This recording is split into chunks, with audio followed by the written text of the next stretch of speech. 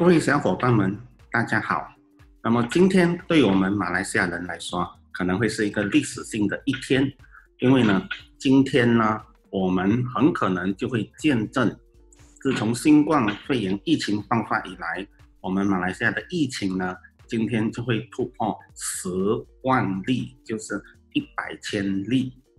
那么这个绝对是一个历史性的一刻，也是你我共同见证的一刻。好，无论如何，我们来开始今天的疫情简报。所以感谢大家从这个啊三月以来，三月之前以来呢，大家的一直的支持。所以大家记得要订阅我们的这个 YouTube 频道，因为你的支持就是我们继续工作下去的动力。好。那么今天我们在这个啊数据权威网站 w o m i t 呢，我们已经看见了这个全球新冠肺炎总感染人数呢，已经逼近了这个八千万例，现在是七千九百万例了。那么死亡人数呢，已经达到了一百七十三万。那么这一百七十三万人呢，有很多他们不应该是在今年。往生的，但是很遗憾，今年发生的这个疫情。好，现在我们先来看我们的这个全球的疫情总数。我们当然可以看到，榜首依然还是啊我们的美国，啊 目前已经叫到一千八百万了。那个印度在后面。那么今天我们啊先从马来西亚开始，马来西亚目前呢排名全球七十。五位，那么是最近这两三个星期之内呢，啊，疫情增长速度最快的国家之一。我们从九十多名一直冲到现在七十五名，所以呢，昨天为止呢，它是九八七三七。按照我们这几天的每天的新增人数来看呢，今天是二月二十四号平安夜之日呢。啊，我们很可能就见证到马来西亚突破十万例，就会排在这个巴拉圭之后。当然，今天还不可能会超过这个巴拉圭。但是说今天突然间我们的确诊病例变到只剩下几百例，只剩下一点点，我相信呢，大家不能够接受这样的一个结果，那也是不可能的，对吗？啊，好。那么我们来看看这个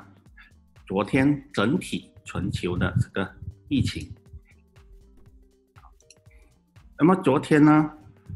我们可以看见一个一个数据，就是全球增加了六十八万例，所以所以对比这几天来说呢，啊也算是一个非常高的这个数据。啊，这个数据呢还在一直。呃，冲破新高。我们对比这里的话呢，嗯，当时我们看到全球最高是七十三万点八，所以昨天呢算是蛮高的一天。啊，当然这也归功于这个美国。美国呢，嗯，是一个已经彻底失控的国家。美国现在昨天新增二十三点二万，所以你看我们马来西亚到现在呢。都还没到十万，今天可能到十万，但是这个美国呢，就一天就给给我们增加了二十三万，然后昨天为止呢，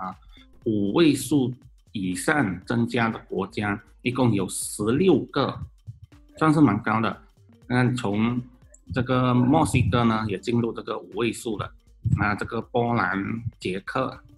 这个荷兰、乌克兰。他们都处于五位数的增增长，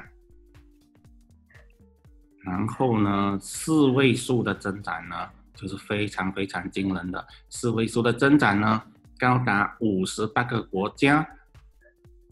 五十八个国家，最后排名的是这个南韩，就是韩国，然后尼日利亚，啊，一三三，然后哥斯达黎加，然后连这个小国呢，拉脱维亚呢，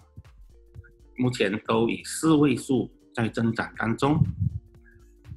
然后这个马来西亚昨天的新增排名呢是全球第五十位，所以整体来讲呢，全球的疫情呢并不乐观，还是依然的非常严重。那么在死亡数据当中呢，呃，我们看到最让人震惊的就是美国依然维持一天三千多例死亡的病例，那么这是一个非常非常高的数据。好，那我们回到整体的数据来说，啊，大家可能觉得，呃，我们马来西亚的排名，根据全球排名来讲，我们都可以看到，像阿塞拜疆这些小国家，像这个呃。像这些巴拿马、尼泊尔啊，啊这些啊约旦啊这些人口比较少的国家呢，都能够排到这么这么前，都随随便便就二十万例。啊，为什么马来西亚呢还不错呢？啊，事实上呢，啊并不是这样子看的，因为我们看这个马来西亚的检测数来看呢，马来西亚的检测呢是三百三百一十万。三一七零一四零，那么整体来讲呢，这样的检测数呢是属于非常低下的，所以我们可以看一下这个问题就出现在哪里。马来西亚的总检测数对比全球的话呢，它才达到第四十七名，所以我们看到很多一些比较小的国家，甚至一些比较落后的国家。甚至一些连中亚的这个哈哈萨克都都已经啊检测了五百多万了啊，其他我们可以看到，我们邻国菲律宾呢已经检测六百多万次了啊，波兰啊这些连以色列 都都七百多万次了。这个阿联酋就不用说了，它已经它全国人口它全国人口九百万，它已经检测了一千九百万，就是一个人最少检测两次以上了。所以它已经，呃，人家检测到 round two、round three 了，嗯，中国还没更新数据，一点六亿次，那个，呃，别小看印度，印度已经超过一点六亿了，一点六五亿了，所以，啊，印度的这么多的病例呢，当然是透过啊积极的检测所带来的。那么，以这个每一百万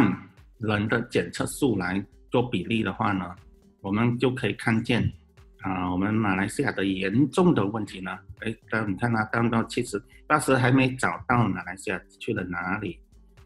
啊，到现在都还没找到，还没找到，还没找到，好，找到了。OK，现在马来西亚的每一百万人的人均检测数呢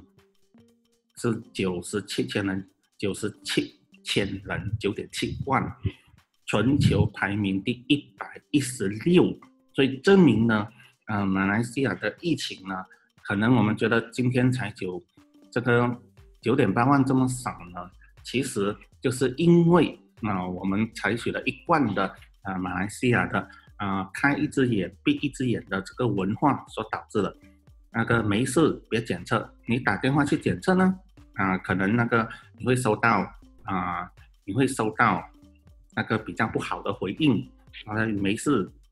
啊，别来制造数据。这样子的事情，如果真正有检测的话呢，啊，也许可能许多许多大马人，如果你在最近的这半年里面，你曾经伤风咳嗽什么过，很可能你都已经曾经被感染过了，但是没出现严重的症状，连自己都不知道。因为我们的嗯，每一百万人的人均检测呢，才啊九十七千，世界排名第一百一十六，这个跟马来西亚的国力呢完全不符合。马来西亚的国力绝对可以在世界排名第三十之内，啊，也曾经排名过世界第第一、世界第三。因为因为我们这个国家蛮厉害行销的，但是这个检测的能力的低下呢，也是造成我们今天面对这个疫情呢，到今天呢，我们还不能摆脱这个疫情的这个主要的原因。所以我们看见像这个啊，迪拜这个阿联酋呢，它已经。它人口九百万，它已经检测了两个 round 了，就是每一个人最少平均检测了两次。那我们马来西亚呢，才三千万人口呢，那，每个人啊一轮的检测都还没检测到。也许有一天，这个这个检测仪器普及了之后呢，啊，就是那个人人都可以居家检测的时候，你啊，你可能你发现到检测一下啊，万一我有了抗体怎么办？就代表。其实我们曾经被感染的，我们还不知道。所以呢，啊，我们也希望大马的政府呢，啊，能够对这个疫情的方面呢有更好的交代，而不是交代到啊不清不楚。所以今天我们看到大马的十万人的十万人的病例当中，其实呢并没有交代到很清楚，因为你想讲多，他就说你是假新闻。好，Anyway，啊，我们今天呢，啊，平安夜也可能就是我们突破十万例的这一天。但是啊，大家不要太过悲观，啊，大家有宗教信仰的，记得啊，念佛的多多念佛，啊，为全球念佛，这个消除业障。那么今天基督徒的啊，请记得啊，在这个平安夜呢，我们一定要为国家祷告。为全球祷告，因为这个疫情呢，肯定可以随着我们的诚心祷告呢，啊，被神所化解。因为这个耶稣的宝血呢，它能够消灭世间很多的罪。好，那么今天的汇报就到这里，那我们明天再见。